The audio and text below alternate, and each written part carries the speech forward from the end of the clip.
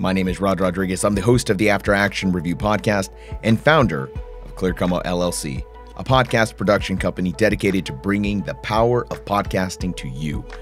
I'm also a U.S. Army Reserve Warrant Officer. Now, I'm very excited to be part of the Capitol Post Startup School. I joined up because of the stellar reputation of Capitol Post and Bunker Labs.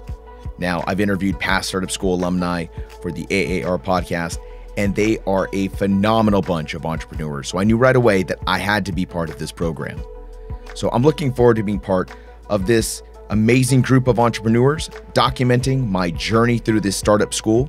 And I will see you at the next podcast.